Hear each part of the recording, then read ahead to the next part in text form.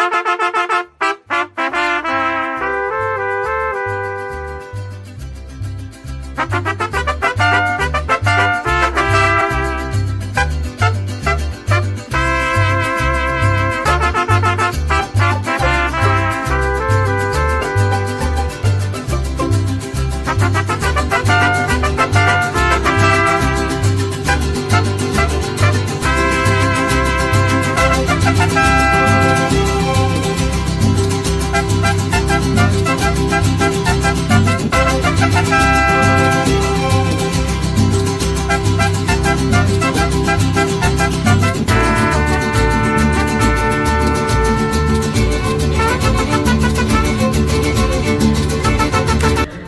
Everybody. We are here on Taco 'Bout Real Estate on Taco Tuesday with Team House and my bestie Angela over here. And I am going to introduce you to Tanya Murray with New American Funding.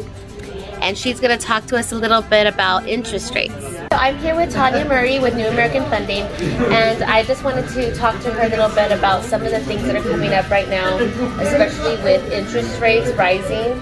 And you are the perfect person to tell me or tell our viewers how to eliminate some of the stress that's coming with what the you know market the market is saying.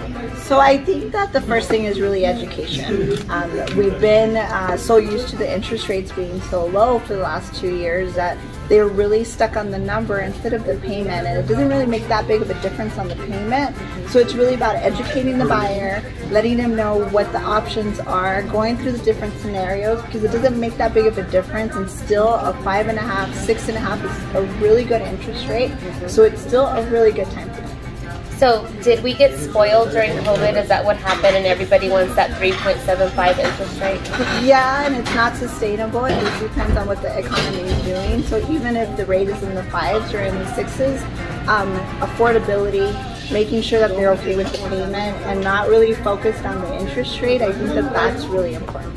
So what if the rates drop um, and they've been in their house for like two months. How long do they have to wait till they refinance? They don't have to wait uh, to refinance. Usually the rule of thumb is for them to save at least 1% in interest rate before it's worth it for them to refinance because of all of the closing costs that are involved.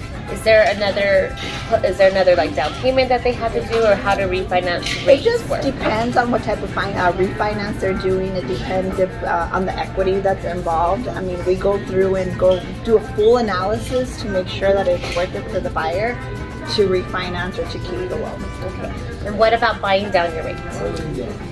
So that really depends on how long are they going to stay in the property. Statistically speaking, people only keep their mortgages for five to seven years, and so it just really depends. Are you going to really want to invest two thousand, three thousand dollars for a fifty dollar saving? Um, if they're going to keep the house for 30 years, then 30 years times 50 makes it makes it worth it. But if they're only going to keep the house five to seven years, or if rates go down and they refinance, it's not worth it. I think liquid money is worth it. Okay. Um, one of the questions that come up with some buyers is that they want to wait to buy until the interest rates drop. Um, my response to them is that the longer they wait, the value of their home is actually going to start increasing.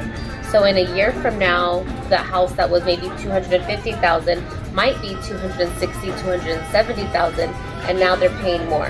Would you agree with that? Yes, that and real estate is always going to be a good investment. I mean, that's really like the best way to invest other than, you know, that's one of the biggest ways to invest. So uh, regardless of what the rates are doing, if you're renting, you're paying 100% interest anyway because it's not yours.